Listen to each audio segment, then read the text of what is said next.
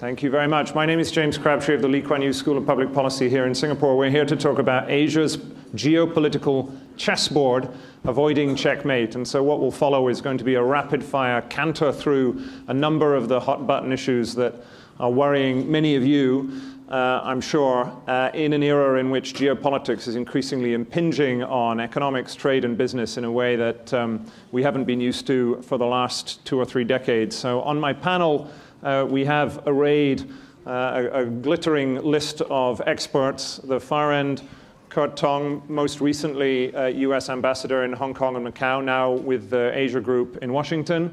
Uh, ambassador Jim Stavridis uh, from the Carlyle Group, uh, but a long-time decorated naval figure in the Pacific in particular, and also recently uh, the Dean of the Fletcher School uh, of Diplomacy at Tufts University, uh, John Park uh, from the Harvard Kennedy School of Government, an expert on the Korean Peninsula, and so we'll be talking about North and South Korea, Farah Pandith, um, who's with the Council on Foreign Relations and also the Kennedy School, um, uh, who is an expert on countering violent extremism, and then Singapore's own Parag Khanna, who's an expert on pretty much everything. Uh, and so uh, uh we'll, we'll, let him hold, hold, hold forth on, on all topics. So we're going to run this as a Q&A session. They've all gracefully agreed to leave their slides at home. So we're, we're going to do rapid fire Q&A, and then hopefully we'll have 10 minutes at the end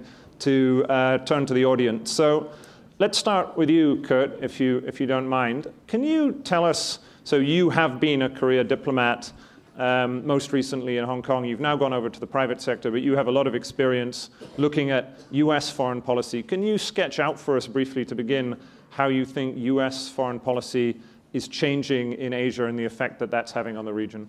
Sure. The, um, I think that, that uh, as people look at U.S. foreign policy over the last couple, three years, uh, they focus on both the, the changes in operating style, uh, substance, and underlying philosophy.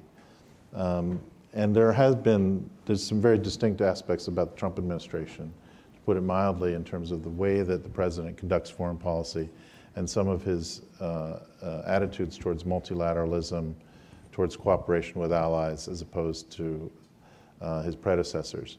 But the, the underlying, what I want to point out is that there's been one significant change uh, in U.S. foreign policy approaches to this region, which is not uh, time constrained or, or specific to the president, and that is the, the rather broad-based and deep consensus within Washington policymaking community that, that, that China is, as is frequently referred uh, in discussion, a strategic competitor of the United States. That's a, that's a pretty firm conclusion, which I don't think is going to change uh, anytime soon. It's based upon uh, the last couple decades of analysis and observation of trends in China and also in re the regional dynamics. The last thing I'll say, because I know you want to go quickly, is that the, having established that point of view, the, the US, this administration and perhaps subsequent ones are struggling to how to implement policies based upon that understanding of, of China as a challenge to um, a US-led uh, regional order or, or global order. Uh, and there are lots and lots of issues with China, ranging from everything from the environment to military balance, trade, cybersecurity, you name it. Everything every foreign policy issue that matters, China is a player, as is the United States, because we're such large and important places. But figuring out which issues the relationship should be fundamentally framed as cooperation, which ones framed as confrontation, and which ones framed as negotiation is a work in progress. And I think that that, that confusion about what to do about the fact that China is seen as a, as, as a preeminent uh, uh, country to work with on everything and, and, and which way to pursue the relationships is, is, uh, is going to be confusing for some time and, and, and uh, needs a lot of advice from, from everybody about how to do that. Okay. Jim, can I turn to you next? I mean, leading on from that and thinking partially about US China, but also more broadly about the region, could you sort of sketch out how you see the changing military balance in the region. Underpinning the, the geopolitical flashpoints we're going to talk about is a sense of the military heft that different countries bring to bear. So can you sketch that out for us to begin? I can. Um, so if you think about the potential for military conflict as requiring two elements, one is capability, military capability, and the other is motive. So very quickly, let's look at capability the Pacific is by far the most militarized region of the globe. 75% of all defense spending occurs in the nations around the Pacific Rim. Just to do the numbers, um, 600 billion US, China about 225 billion, call it about 100 billion additive between Australia, South Korea, Japan, uh, probably another 100 billion in there mix of other nations, including Singapore, which has very capable armed forces, um, Russia, which is a Pacific nation. We ought to kind of remember that. About 80 billion, maybe 100 billion. So, all told, globally, there's 1.5 trillion in defense spending. 1.1 billion is in the Pacific. So, plenty of capacity. In terms of motive, well, let's start with the fact that several of the nations are actually still in a technical state of war, including Japan and Russia. I don't think they're going to go to blows anytime soon. But of course, the Korean Peninsula is still technically in a state of war. There are territorial disputes throughout, most notably the South China Sea, but also the northern territories of Japan, the Senkaku Diaoyu Islands in the East China Sea. Um, and all the things the ambassador just mentioned um, kind of are part of that frab, part of that fabric to include cyber. There's already a kind of a shadow cyber uh, going a little beyond competition and into kind of a shadow war in the cyber world. So again, capacity over here and motive over here, those are two streams and it's kind of like in Ghostbusters, you don't want the streams to cross. so I think we've all got work to do, and it's really not just US China. There is, as the ambassador said, a, a, a very rich, unfortunate, combustible mix in all of this that'll require diplomacy, economics, culture, understanding of history, and a lot of different things if we're to avoid those streams crossing. Very good. Well, we're going to come back to US, China, and uh, cyber in a minute. Let me jump over to Parag here. So you're, as well as being an expert on everything, you are the author of the, the Future is Asian, an excellent book that you should all buy. And, and, so in there you argue that we're all really too obsessed about China, and particularly US China. So sort of sketch out the broader regional context for some of these flashpoints right. for us. Great question. I think it's a great segue from what the Admiral has just said, because there is this tendency to in, engage in this kind of reductionism where the future of world order and everything in the Asia Pacific hinges really just on the US China dynamic. But as the Admiral pointed out, there is a significant distribution of investments in military capacity. And if you look at the economic landscape as well, it isn't entirely bipolar, right? Even Asia itself is multipolar if you think about the large and, and fast growing economies uh, in, in, the region, uh, whether it's Japan, which is large but not fast growing, or India that is large and fast growing, and, and the other economic centers. So the economic diplomatic, um, you know, military power is quite dispersed, even with China being kind of, you know, an 800-pound uh, gorilla, if you will. And I think that rather than focus on just the bilateral dynamic. We should actually look at the ways in which these regional, or you know, we think of as peripheral or neglected countries, actually do play a central role in how the dynamic unfolds. And I would just characterize it as a, as a sort of dichotomy between outside-in efforts and inside-out. And if inside-out means China and its efforts uh, unilaterally or otherwise to try and push the United States further back and away from its uh, historical uh, naval dominance and posture in the region, uh, out past the first, second island chains and so forth. Uh, then the outside in is what is the effort that the U.S. is now leading with the sort of Quad alliance, with working with India, with Japan, with Australia, and with what those four regional, uh, those four powers can do to support the second tier countries that have these direct confrontations uh, with China, uh, like uh, the Philippines, uh, Vietnam, and Indonesia in the South China Sea. So that's the outside in. It's the outside forces and powers, the you know sort of democratic uh, allied nations working to build the capacity of the sort of interior smaller countries and collectively to shape to channel uh, to sort of you know mitigate uh, Chinese uh, behavior. And I think that's the inside out versus outside in dynamic that's going on. It does still center around China, but it's an approach that really takes into account the, the complexity of Asian diplomacy, which is not really about alliances. You know, we make we like to make these analogies to Europe in 1914 and alliances and escalation, but I think you know the, the admiral uh, hopefully would, would agree that uh, you know the U.S. has allies, but in Asia, Asians don't think of each other as allies. And so it's a very different kind of mindset strategically in the region. It's a lot more, you know, mercenary, you know, for lack of a better term, a lot more promiscuous, and a lot more just shifting of calculations that are that are much more tactical. So, you know, you're not going to have the kind of neat structures that we that we that we would uh, map onto this region from Western history. It's better to look at just how fleeting these relationships are, and that makes uh, that really does put the burden on diplomacy, you know, both uh, American and obviously Asian countries themselves, to, to manage these dynamics better. Very good, Farah. You are also an author of uh, How We Win, a book on countering violent extremism, which, although it's not focused on Asia, has lessons for this region. So, just again, as a sort of start of a 10, can you kind of sketch out how your work um, looks at this region's future? Well, I think one of the things that's important, let's look at the, the title of this uh, session today. We're talking about a chessboard. Uh, you cannot play chess if you're only ob- observing one or two of the pieces on that chessboard. You have to look at the entire chessboard in, all, in order to win. And I think many nation states, whether we're in Na- Asia or around the world, tend to look at power structures and geopolitical risk uh, based on very traditional, uh, traditional definitions around economy, around uh, military, around things that we can measure and we understand understand it is important, it is actually vitally important that we look at the things, the trends, the emotional fabric uh, that is moving the globe. Uh, and and that, that's a really important dynamic because if we look at Asia, where uh, it has almost 800 million youth here in Asia, 45% uh, of all internet users in the world uh, exist here in Asia.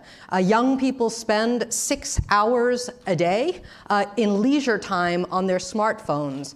Those statistics may seem like unrelated to this idea of geopolitical risk. But in fact, countries have, have a blind spot right in front of them. Uh, and that blind spot is they are not connecting the ideas that are, that are coming from those smartphones into the minds and to the emotions of young people around the world. And what I know is that uh, the kinds of extremists that I've been working on, Al Qaeda, uh, the so called Islamic State, certainly not the only terrorist organizations out there. We obviously see different kinds of us versus them ideology globally. But if we're calculating what we have to look at here in Asia, it would behoove all of the nation states and corporations themselves to factor in the soft, soft dimensions, the emotional dimensions around identity, around belonging, uh, around how these young people feel about themselves, because it impacts every single thing that was said on the stage already today. Uh, and it will impact for generations to come how communities are able to live with each other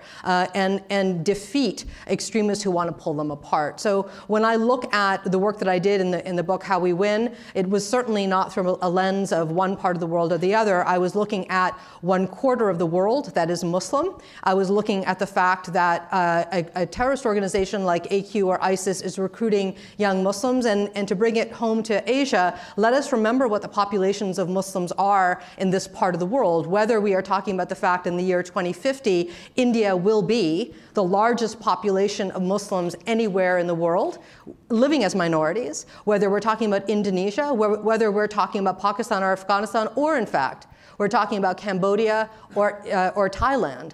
The Muslim communities that exist uh, matter to the way in which we think about the trends that are taking place. So uh, I see all of this uh, as a really important call to action. Uh, and I think as we're figuring out how we, how we think about um, the region and how we think about how it connects to the world, we just need to think about the ideology of us versus them and who is absorbing it and how and why they are. Very good. And John, so I want to sort of touch a little bit more on, on what's going on on the Korean Peninsula, but, but maybe just as a start, can you tell us a little bit about what you, in a sense, building off what others have said about the US and China and what we see happening in the region, what can we learn from the current state of play with North Korea in particular about the, the way the big powers are, are behaving in this part of the world?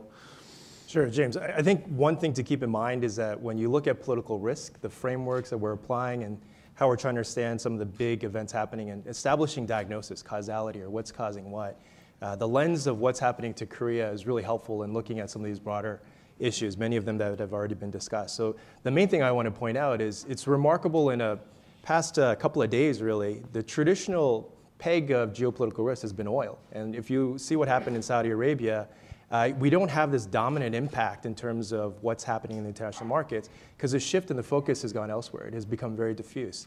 And so when we look at the Korean Peninsula, it becomes a very interesting lens, almost the canary in the coal mine of globalization. So a lot of the issues, US-China trade war, uh, things that are happening directly with uh, South Korea and Japan, uh, what's happening with uh, North Korea in terms of the broader international security aspects. There's a powerful lens through which we can view this. The uh, three things that I quickly highlight is that in this kind of analysis, many of the outside observations and the analyses, frankly, don't connect with reality because the framework now is directly what's happening between the leaders. In the case of the Korean Peninsula, we've gone from elevated tensions where the likelihood of military conflict in 2017 was extremely high, now to what are called love letters, right, going between Chairman Kim and President Trump. the number and the frequency, the content of those letters, uh, I think is much more than you know, we would assume on the outside. And what the leaders are directly saying to each other gives a sense of subjectivity. And so this idea of an A plus and what's happening in the resolution management of this crisis, on the outside of it, it's really detached from what's happening inside of that scope. We're anticipating the beginning of working level talks, but that's going to be a long drawn out process. But right now, for that particular case on, on the security side, it's North Korea not doing intercontinental ballistic missile tests is something that the two leaders have agreed to more or less. And that has put the nuclear issue in, in a box in this idea that they'll uh, manage this issue going forward, and resolution will take some time. On the aspects of trade, I, I think there's an important element when you look at South Korea, it is involved with all the major global supply chains, particularly in the technology space. So what happens with South Korea is a great indicator. Uh, the health of these supply chains, what's happening, the transformation. There's a lot of adaptation going on because of these trade issues, but South Korea becomes a very important lens for these developments as well. And then finally, on the cyber piece, uh, this is an area that we are completely underestimating. In the case of North Korea, a lot of the physical limitations of nation states don't carry over into the cyber domain. And North Korea is not an actor and, and a high impact actor overnight. There's been many, many years of development of resources, cultivation of talent, pipeline, and so forth.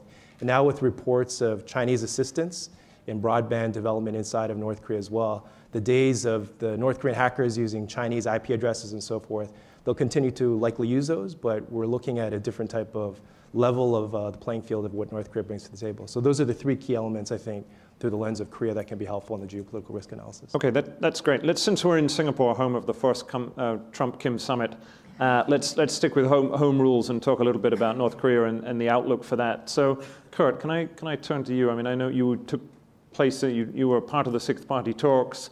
You used to uh, watch Korea pretty closely. Could, could you give us your sense of what, um, what might happen in what is probably the most important Trump foreign policy initiative for the rest of his term?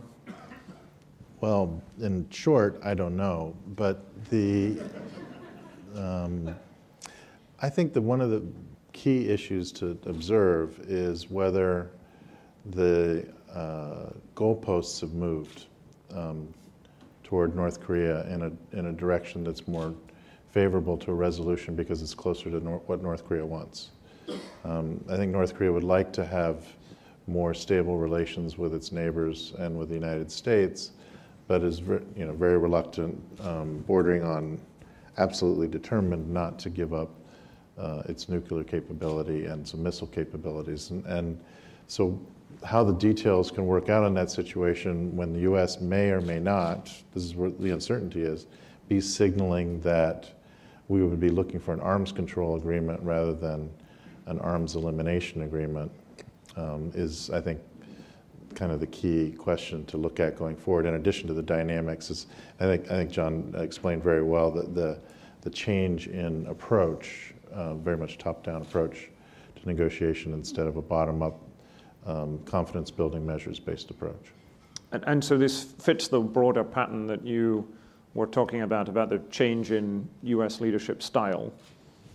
Right, um, and I think it's very clear that that President Trump's style is to prioritize the issues that he thinks are, are very important to him, both politically and, and personally, uh, or he's identified his priorities and focus on those, sometimes to the exclusion of other priorities. And, and that can be a problem when, when uh, second tier issues, sleeper issues, uh, don't get the level of attention that they deserve.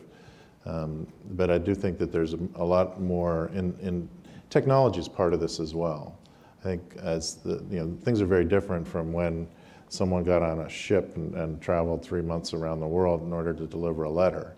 Um, personal diplomacy is much more um, uh, physically uh, feasible these days.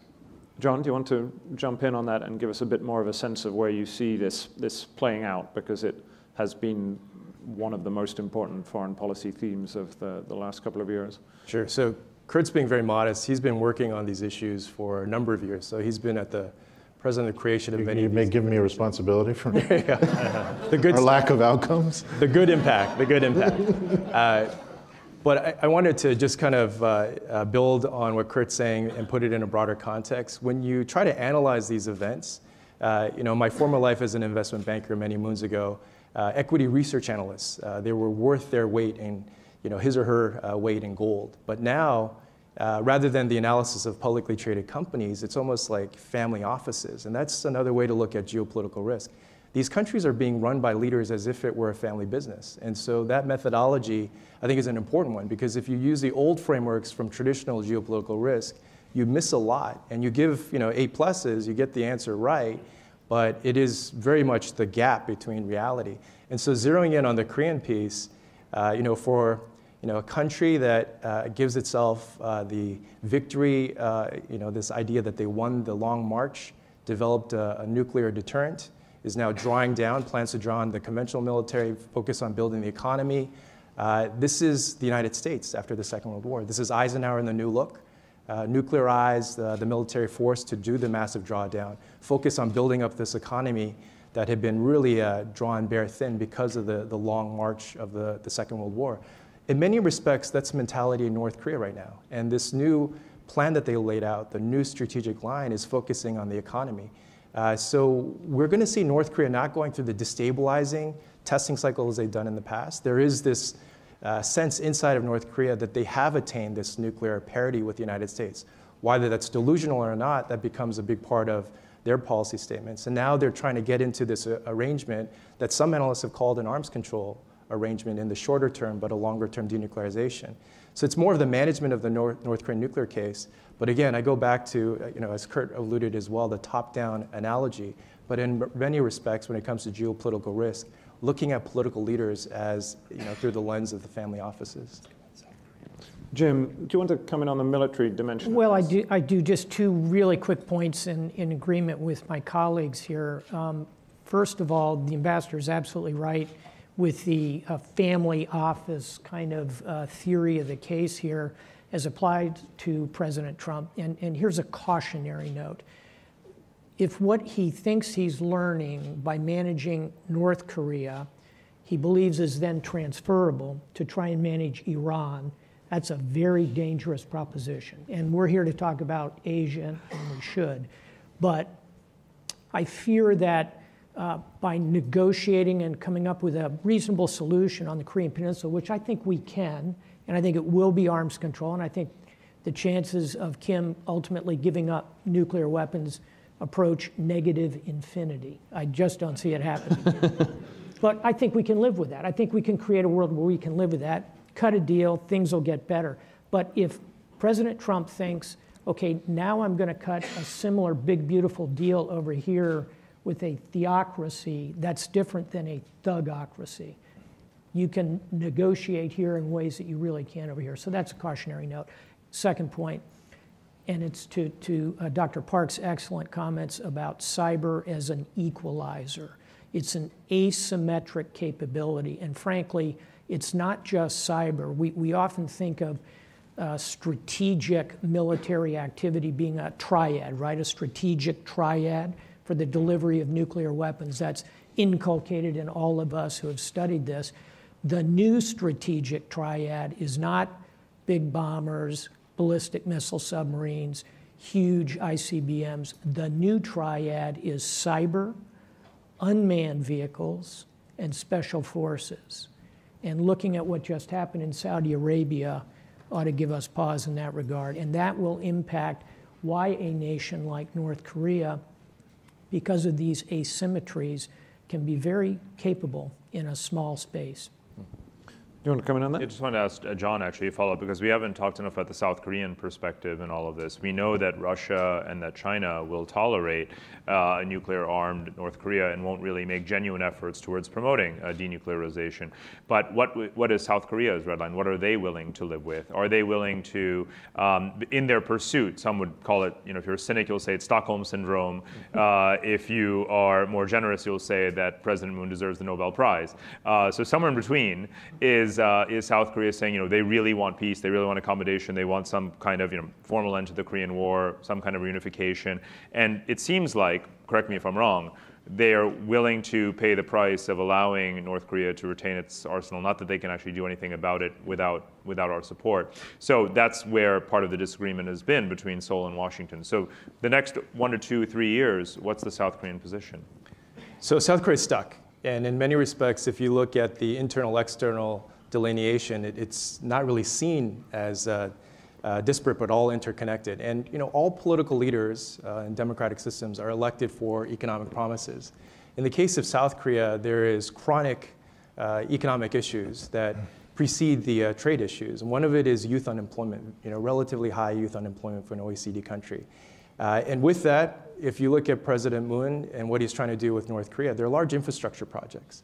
And the idea is you have to resolve uh, for the short term the nuclear issue, but put it in a box in a process so that you get sanctions easing to move forward on these infrastructure projects. The two things to remember is that from a South Korean context, they are functionally an island nation. They want to free up a lot of capacity, and that's why North Korea is an important piece of this. But they are sensitive to North Korean concerns about political influence coming through. So if you look at the transportation infrastructure projects, they straddle the coastlines. Nothing is touched in the middle. It was an ideal plan, uh, the idea was uh, overall that Hanoi would be the beginning of a process and eventually some movement on this inter-Korean project. But with the sudden collapse, completely unexpected, no one was expecting a breakthrough, but at least the beginning of this process, all that is stuck. Uh, and then you know, quickly on the point about uh, South Korea's diplomacy and all this, disproportionate high impact in the early days to get the diplomatic off-ramp going. But once the US and the North Korean leaders are talking directly, uh, South Korea is really on the sidelines right now, and the North Koreans are basically saying no to even humanitarian assistance coming from uh, South Korea via the UN agencies. Uh, so for the time being, until there is movement on the U.S. North Korea side and some easing of sanctions, uh, South Korea and all the things that they want to deploy, they're stuck. Mm. Very good. Let's, um, let's draw the conversation back up. I mean, we haven't, I think, dealt enough with US China, which is the, the sort of heart of so many of these conflicts. And since Parag started off by saying that we shouldn't pay as much attention to US China, I'm going to punish him by asking right. him to give your sense of, in a sense, where does this. Where does the situation in Asia stand um, between the two great powers more than halfway through the Trump even if you want to focus only on the U.S.-China bilateral dynamic, the, the central issue we've we've talked about the military dynamic, but that obviously isn't the only vertical of relations. You know, uh, uh in in this case, unlike in the Cold War, there are there is an, an intense sort of array of of, uh, of, agendas and bilateral relations, and obviously the economic, uh, you know, the trade war, technology war, and all of these other aspects of the competition are every bit as important to some degree. And in fact, those are the ones that are unfolding also every single day in real time. They're the ones that obviously affect the business community uh, more than the more slow burning kind of military uh, arms race. So I do think it's worth talking about those, just not, again, reducing it only to the military dynamic. With the trade war, you know, what you see is an acceleration of this kind of a- Asian decoupling. I mean, um, ASEAN has now, Southeast Asia has replaced the United States as China's second largest trade partner behind the European Union. So, you know, clearly there is a decoupling in terms of trade, but in other aspects of relations, in terms of um, you know, the, the, U.S. business community's agenda, it clearly doesn't toe the Trump line. Of course, you know, uh, the corporate community would like to see much tougher approach towards protecting intellectual property, but they also don't want to be shut out of the China market. Hence, you can see the schizophrenia, you know, in, in the tech community uh, about this. Then there's capital markets, which is, you know, trillions to the billions of trade, right? In a way, that the trade issue, the more you can see the kind of end state of the decoupling on trade, uh, the less significant that becomes in the grand scheme of things. Whereas China's uh, you know, opening of, um, of debt and equity markets, that represents tr- trillions of dollars of potential inflows that China is very, very eager to attract as it moves into current account deficit. And that obviously is an area of connectivity that people aren't talking nearly enough about, even though it is such a big deal. Um, so I think we have to look at that as well. Now, obviously, the administration is trying to discourage investors uh, from, from taking those steps, but that's, that's sort of pushing against gravity, you know, or against, uh, you know, river flowing, water flowing down the mountain. That's just not going to happen. Money is going to go global. Uh, you know, uh, uh, pension asset savings are going to go into China in this regard, and that's also very significant. So you can't, you know, you, in some areas there'll be decoupling and rivalry. In other areas, there's still going to continue to be uh, intense and deepening relations. So I, I want to ask Farah about soft power and the sort of soft power relationship between the U.S. and China. Given I know soft power is something you look at, but cards on the table. Are we going to have a trade deal? No. Anyone else? Will we have a Kurt? We're going to have a trade deal, U.S. U.S. China. You really want me to go there? Um, the uh, maybe. Jim. Another another. Let me let me okay. let me let me elaborate.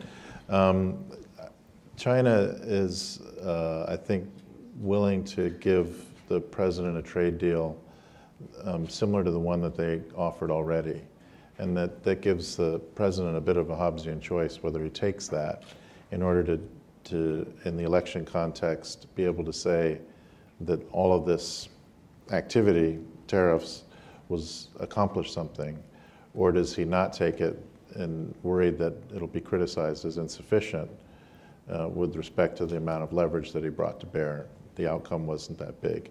Um, it's it's going to be a difficult choice, and I think uh, the, the the the country with the agency in a trade negotiation is always the one that's on defense. That's China. Uh, the, the person that's got to make the tough decision is going to be the president. We'll see which way it goes. So you got a you got a no, you got a maybe. I'm going to be a yes. Okay, so great. so we can totally so we've got make total this useless for you as. But I, you know, my sense is is short-term gain, long-term pain here in this relationship, and I think that between now and the election, this is the Hobbesian choice. I think the president will go with uh, cutting some kind of a deal because for him, it's all about reelection in 2020. And I think he'll make the calculus that'll be better than running against China, which is the other end of it. Um, but I, I also agree, hard to say, I'd say two in three chance. I'll close by saying we're in a trade skirmish, not a trade war. Um, if we get into a trade war, skirmishes often lead to wars, and trade wars often lead to war wars. And I'll, I'll simply point out the last time we really did this was about 100 years ago. Global trade war, Hawley Smoot tariffs in the United States, built big trade barriers. How'd that work out? Well, we cracked the global economy, and you can drop a plumb line to the rise of fascism in Europe. And oh, by the way, how did we get in a war in the Pacific with Japan? Trade issues, raw materials, East Asian co-prosperity sphere. So we are playing with fire on this one. Maybe that's why I'm hopeful that we will get a trade agreement. Okay, no, maybe yes. So we got that one sorted. Um, Farah, that was hard power on Best US. panel ever. that was hard power on US China. Can you tell us a little bit about soft power on, on US China and how you perceive uh, that element of the geopolitical contest between the two big powers? There's no contest. Are you kidding me? The United States has reduced the amount of money that we've spent on any kind of soft power, period.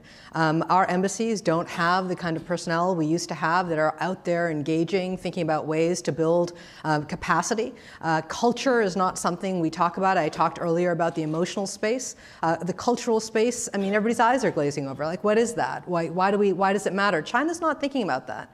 They're, they're understanding the power of culture. They're understanding how important it is to increase the relationships with communities in whatever way that they can. Um, they have outpaced us. Uh, the United States is not is not in a position right now. We have no strategy Forget about the resources we're putting in there. We have no strategy in what we're doing, not just in Asia, but in any other part of the world. So when I look at a U.S.-China relationship in terms of um, the immediate, the immediate Chi China will outpace us on the, on the soft power piece, but on the long term too. Um, I may not like some of the decisions that they have made on how they think about their minorities, how they understand their own influence uh, across the region. But I can absolutely tell you they have a plan. And they, they know what they're doing with the numbers, the gigantic numbers of, of young people, and how they want them to think, how they want them to act, how they want them to um, impact the future years. So if you if you are assessing uh, where where we are in this, they're they're outpacing us. But I want to say one other thing.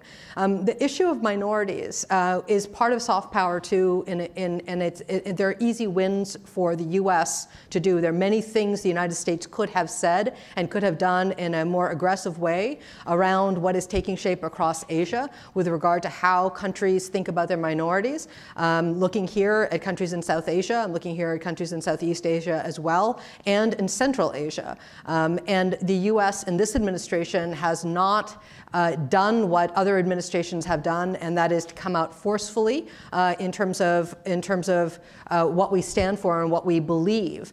Um, there's another dimension with another player that is here in Asia too that is using soft power to their advantage uh, and is actually influencing the way generations think about themselves. I don't want to only speak about Muslim youth because there are many more different uh, dimensions of this youth dynamic, but I do want to bring in the issue of Saudi Arabia Arabia. Uh, here, um, Jim brought it up Iran, so I'm going to throw in Saudi Arabia for a moment. Um, they have had and deployed themselves in this part of the world uh, under the radar of uh, almost every nation here uh, in this part of the world. Uh, whether I'm talking about Indonesia, uh, whether I'm talking about Thailand, whether I'm talking about um, Cambodia, the impact of the way in which they are influencing, and this is soft power too, how they're influencing young Muslims in terms of how those young Muslims are thinking about themselves themselves should scare every single one of you. Uh, they are promoting a monolithic version of Islam, and this part of the world, to their advantage, has a diverse expression of Islam in so many different ways.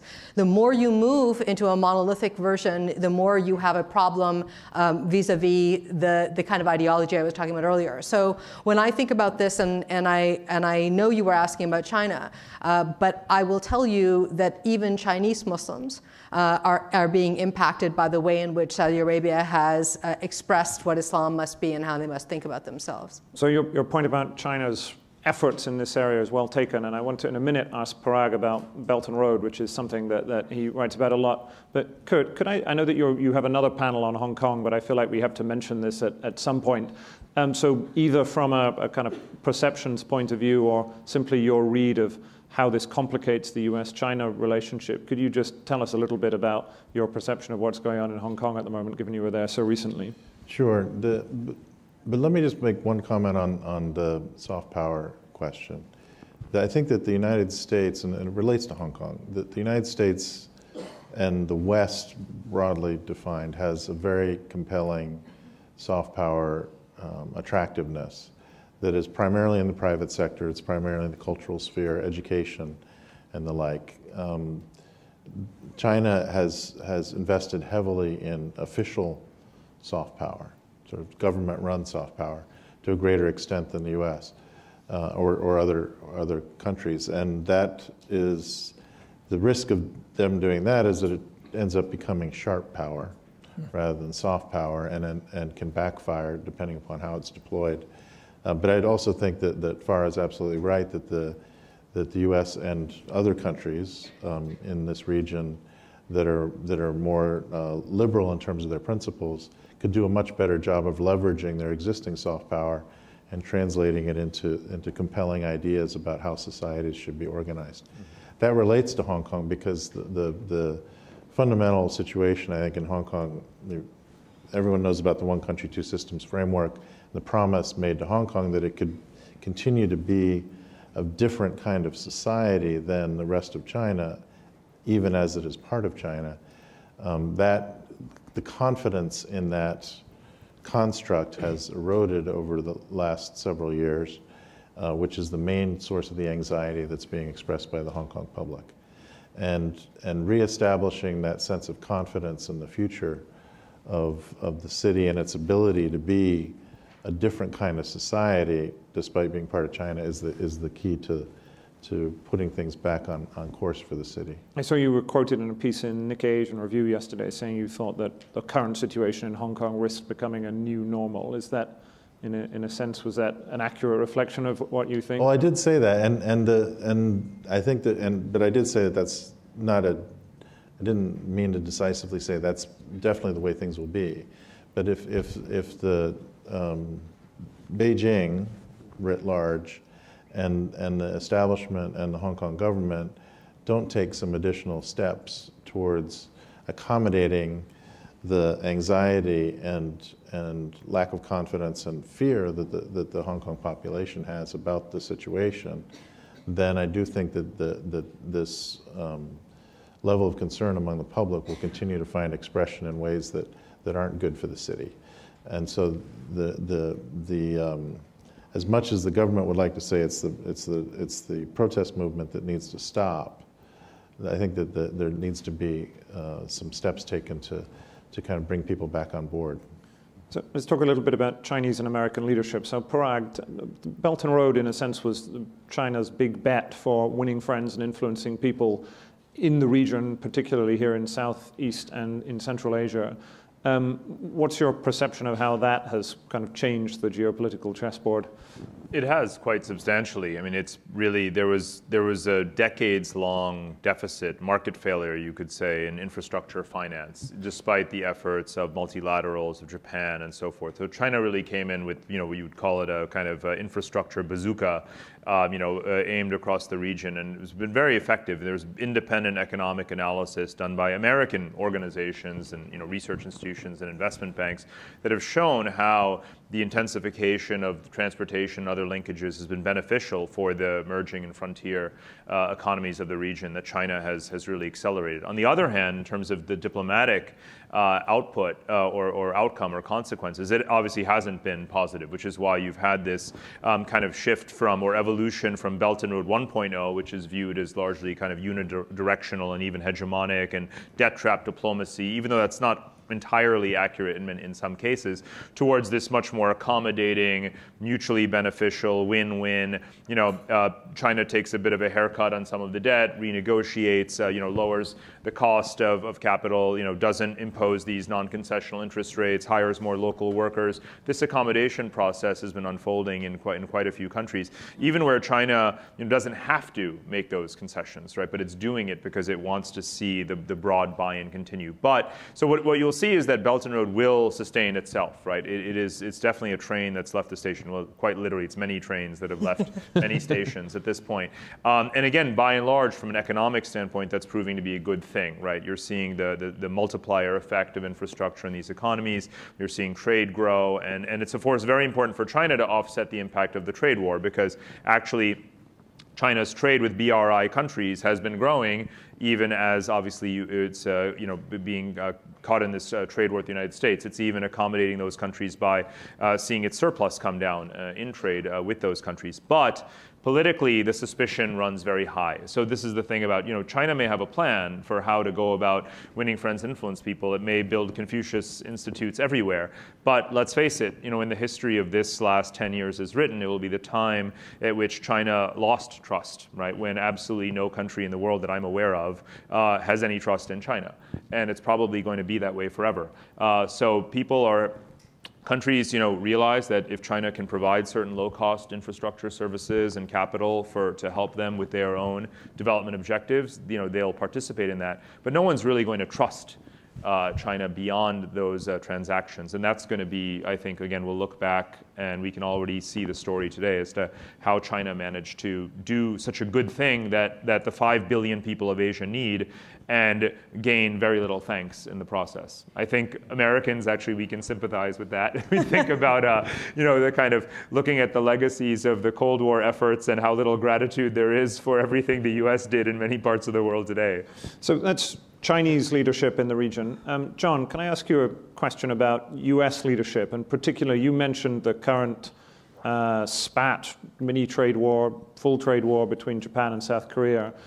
Many people see this as an example of fading US leadership in the region, that this was something 10 years ago that the US would have stepped in and sorted out. I mean, you, you said the Korean Peninsula is often the canary in the coal mine. Can you say a little bit more about what you see as the outlook for that particular um, sort of example of the changing geopolitical balance in the region? Sure. So we talk about this bipolar world in the sense of security and economics. And South Korea, in many respects, has been straddling those two spheres for a while now. Uh, its economic future has been with China for many years. Uh, it eclipsed US, uh, US South Korea trade many, I think, over a decade ago. And so when you look at that relationship, the South Korea US security relationship is the primary guarantor for South Korea's security. But with a lot of the retrenchment going on in the United States, and this is something that has been going on for a while but accelerating in the current Trump administration, uh, there, there's many ways to read, I think, what South Korea is experiencing. So, you know, the, the twin takeaways first is that from a South Korean perspective, a lot of these type of historical issues in the past, they felt the United States played a very discreet but very influential role behind the scenes to prevent South Korea and Japan going this route of full-blown escalation. Uh, the second thing, though, is with increasing U.S. demands of South Korea for more in terms of burden sharing for hosting U.S. troops in South Korea, there's this existential question of what use is the U.S.-South Korea alliance in the broader South Korean discourse. And that's a tough question to answer. And so this is where uh, looking at how South Korea is dealing with a lot of these issues can be one way to analyze how the US alliance relationships with other countries may be going. The outlier in this is Japan, because if you look at the direction arrow Japan wants to go in, you know, the title of our, our panel here is uh, Avoiding Checkmate, but if, if it were framed as crisis, you know, there's a saying in international relations, don't let a good crisis go to waste. And if there's a view that US leadership is withdrawing, there's a natural opportunity for uh, Japan and its definition of self-defense to become larger and greater cooperation on the naval front, especially with the larger concept of Indo-Pacific. And so uh, there are a number of areas where there are pluses and minuses, but overall how we see the view of the US alliance structure, that's a part where rather than this overall coordinated game plan uh, where it's all nicely laid out and implemented, surely with some hiccups, we're going in different directions in how these various countries see the alliance structures. Jim, do you want to comment on this? I mean, I suppose the obvious question is, as a retired but long-time U.S. military leader, how worried are you about the health of the U.S. alliance system in this part of the world? My sense is it will uh, continue to be relatively strong. Um, we've got an administration that um, doesn't like big multilateral trade deals, doesn't really like big multilateral alliances, famously kind of leaning back from NATO, for example. But in this region, I, I think the fundamental U.S. connections to the major players militarily are, are quite strong. They're quite embedded professionally. The, these are militaries that have operated together historically. We, we share common systems, common command and control networks. That's not to say they can't sort of fall away. But um, taking Japan and South Korea as an example is a very good one. Um, from a military perspective, we continue to work very well with the South Korean military. We work very well with the Japanese military. Our problem is trying to get them to come together. Australia, New Zealand, very strong. US Singapore relations, very, very strong. I'll close because I wouldn't want us to wrap the panel without mentioning Taiwan. And I think that to the Hong Kong point, um, part of the restraint, part of the speed brake on China is they know the Taiwanese are watching. They know that this will be an important sense of whether Taiwan gracefully over time becomes part of China or whether it's going to be a more uh, dramatic process. Let's hope not the latter. Uh, but militarily, I think we're going to continue to support with uh, systems, military systems, Taiwan. Um, that's going to be part of this South China Sea flashpoint. We, we need to remember Taiwan guards those northern approaches. It's extremely important real estate. It's an alliance piece that um, I think is, is pretty important for us. Do you want to come in on that as another you know, very recently retired U.S. diplomat? Well, I, I, I would second um, the Admiral's observation that the situation in Hong Kong has implications for how Taiwan views um, its cultural, economic, and political relations with the mainland, with, with China. And I think that China is aware of that and, the, and would not want to try and push Taiwan farther away, uh, because then that creates a, a um, more difficult choices for China in the future. So, so um, again, it points back in the direction of, of more dialogue and figuring out solutions to, to, to political um, dilemmas rather than, than dramatic action. Now we have a big flashing light here which says 10 minute warning. I want to turn it out to the audience in just one minute, but I want to give a final word to Farah, which in a sense I mean, all of the panel here are counselors and advisors to companies and businesses as they try and work out how to grapple with this new era. But maybe I'll ask you rather than everybody, uh, what advice would you give to, to investors, to companies who are trying to puzzle through a new era in which geopolitical risk is clearly going to play a much greater role in business decisions than it has over recent decades? Well, we've had a really great conversation about the things that everybody puts on their list of um, factors to think about as they look at this region. And I hope, uh, and I, I try to poke at this because I think the things that are uncommon, the things that you don't expect that you need to do, you do need to do. Um, I've talked about the demographic shifts, I've talked about the use of technology and how millennials and young people are thinking differently. Your companies need to understand that. You also need to understand that 52% of young people in this part of the world look at companies and say that they, excuse me, 72% look at, the, at companies and say they actually think very carefully about what your company stands for. And this idea of corporate purpose is not something that should be um, dismissed. It is a really critical component, whether you're talking about ESG or you're talking about the, and those kinds of movements. What is going to happen in the future matters to this generation, and your, uh, your assets, how you think about stability in this part of the world will require you to think about what you're doing in a community and how the people that live in those communities feel. So all this gushy stuff that you don't necessarily think about and your risk uh, analysts on your teams may not want to think about, I urge you to think about that stuff because it really does matter. Yeah, I wonder if there's anyone from Cathay Pacific in the audience. Um, so uh, I think we have some roving mics around here. So sir, you have a roving mic. I see a hand here. I'm going to take a round of three questions. It's very difficult to see you because the lights are blinding. Please introduce yourself and please keep it very short and a question mark at the end, please. Okay, absolutely. My name is Nishith Desai. I'm an international lawyer from India. Uh, my question is on soft power. Has it moved from the state to the, uh, what is called social media?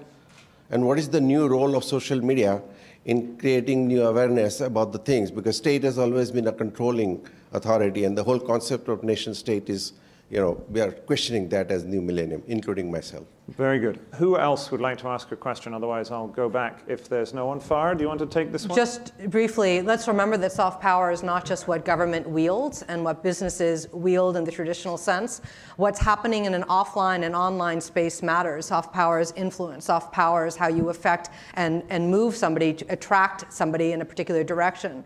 Uh, we didn't talk enough about technology today. Um, I don't need to tell you how important it is for us to think about uh, what's happening. You said you're from India. Um, if anybody was to get a prize on fake news, uh, India would receive the global award for it. Um, and uh, and it, it is really important I mean, that we think about how that impacts society. So influence, influence matters, real facts versus fake facts. Um, how you get people to, to buy into things uh, will matter. But I will argue to you that soft power hasn't jumped from the offline space to the online space. It is a momentous change that's happened that we've brought in uh, technology the way we have. But there is a dynamic here that requires us to think about the on and offline together. Right. I can't stress to you how bright these lights are. So if you want to ask a question, you really do have to go like this. There's a hand right at the back. Again, introduce yourself, please. Hi, good afternoon. Uh, I'm Eric Bethel with the World Bank. Uh, having recently read uh, Graham Allison's book, uh, Destined uh, for War, uh, it, and, in, and in that context, I wanted to ask perhaps all of you the same question, which is the relationship between the US and China is going to be the single most defining relationship, at least in most of our professional careers. But let's, let's take a short term view. And the short term view is where are we two to three years from now? Are we in a, a, a, protracted Cold War? Are we in a kinetic war? Or do we have a trade balance? I mean, where, where are we? Very good. Thanks, Eric. Does anyone else? Do I see any other hands? One question here at the front. Yes, let's. Again, introduce yourself. Yeah, uh, so I'm Helen He I'm from uh, Shanghai, China. Uh, I do have a question, but I want to talk to Farah first because you brought the issue about uh, impact on youth, and you brought the issue about soft power. Uh, so um, there are millions of youth in China. I want to share a story that I recently met my mom. Very brief story, Quick, please. Yeah.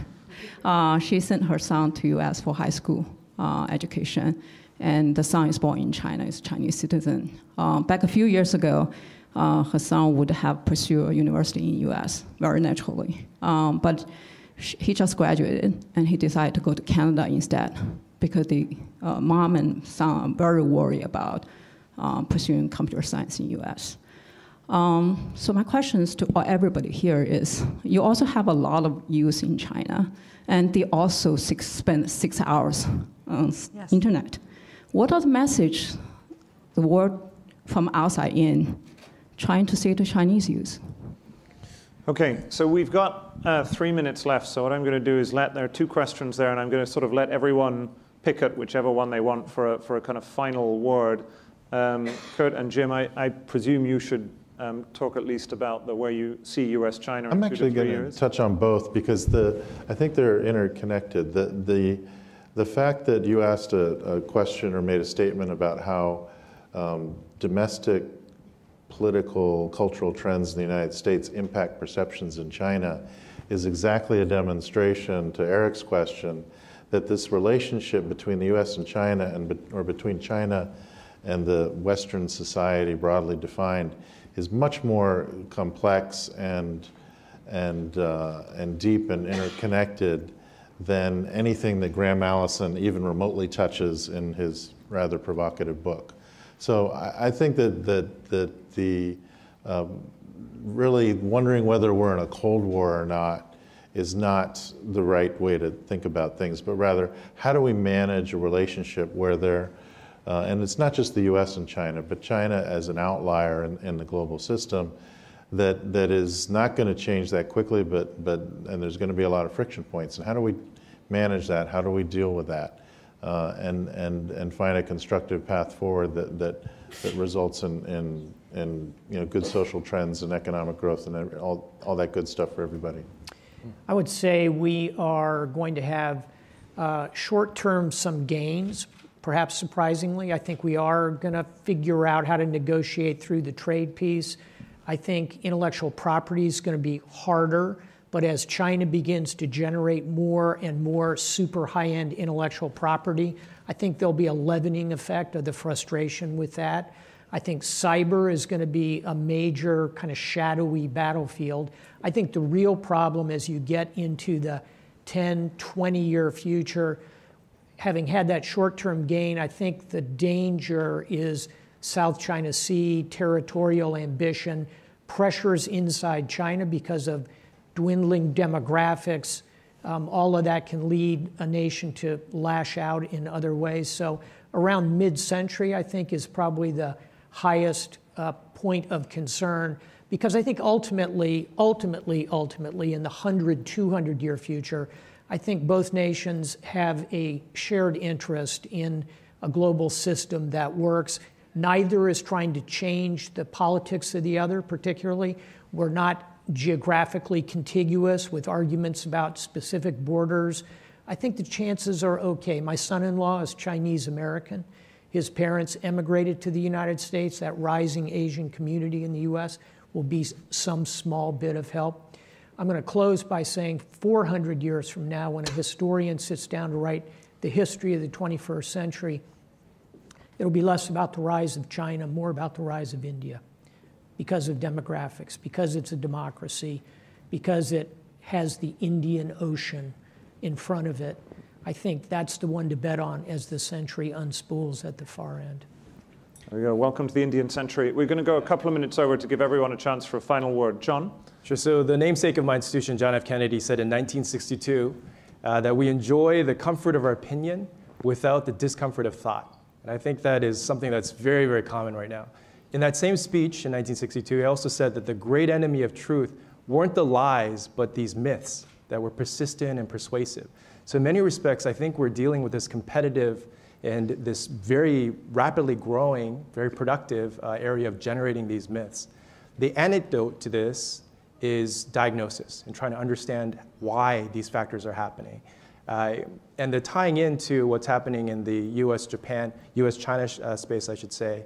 Uh, in many respects, I think when you see the uh, shock of the US China trade component of it, it is having a huge impact, as many in the room know, on global supply chains. And so this is a piece I think uh, going forward to look at. Uh, that's, I think, where in many respects the big story is, and understanding the adaptation, the evolution, because of this big shock, uh, is going to have profound impacts in, in, a number of different areas. Uh, so with that, just keep in mind this notion of the importance of diagnosis and the need to focus on that more and more. Farah? I would say a couple of things on, on the youth piece, uh, and that is this. Um, we are looking at power, uh, and traditionally have looked at power as power over, as opposed to power with. The generation of millennials and Generation Z see power with. So for Chinese youth and other youth around the world, their networks and how they connect to each other, that's the power. They see power differently. So I would want us to take that into account, first of all. The second is, um, I'm going to use the word diversity, as soft and comfortable as that may be and squishy, and you may think I've lost my mind, but the power of diversity in this part of the world is critical. And, the, and we cannot allow us to get, um, get to a place where the us versus them is, is overtaking um, the traditions and the history of this really important part of the world. Uh, and I think we need to honor that. Uh, when we're seeing the fierce rise of hate around the world, it is not immune to this part of the world at all. So I would say that kind of resilience that we have to build is critical. And as we look at China and Chinese youth, um, that plays a part in it as well. Very final thought, Parag? I mean, I, I tend to discount or I don't like Cold War analogies to the US China relationship because, in terms of the bilateral relations, it is so different from the Cold War. But the one way in which there are similarities is that the proxy competition matters as much as the bilateral dynamic. And again, in the spirit of our first round of questioning about the importance of other Asian countries and Eurasian countries, we should focus on that in the next few years. About you know, 12 or so years ago, I started making a list of all the countries that Washington had labeled a rogue state, you know, a state of concern. It was Syria, Iran, Iraq, North Korea, Cuba, Venezuela, and so forth. And then I made a list on the same, you know, uh, column, what are all the countries that China is providing financial, diplomatic, military, other kinds of lifelines to? And guess what? It was the same list. And that was a dozen years ago. That was before it was widely acknowledged that China is a global uh, superpower such as it is today. So again, those proxy countries, those third countries, that's where the real action is going to play out in the next few years. And that's why, not only, again, as a response to Belt and Road, what you're seeing is that Europe, uh, the US, Japan, India, and others are all throwing their hat in the ring in terms of this competitive marketplace of infrastructure finance, what I call an infrastructure arms race that really goes in parallel to the arms race arms race uh, that the admiral was talking about. So watch that space. You know, look at the look at Iran, where the U.S. and China, where China and Iran have just mapped out a 25-year strategy, for example. You know, that's really going to be where you'll see the the real competition play out. Very good. We've gone two minutes over. Thank you for your patience. We've hopped around a bit like knights on the geopolitical chessboard, but with these Kasparovs and Magnus Carlsens of uh, geopolitical analysis, we're a little closer to the end game. Thank you very much. Pleasure.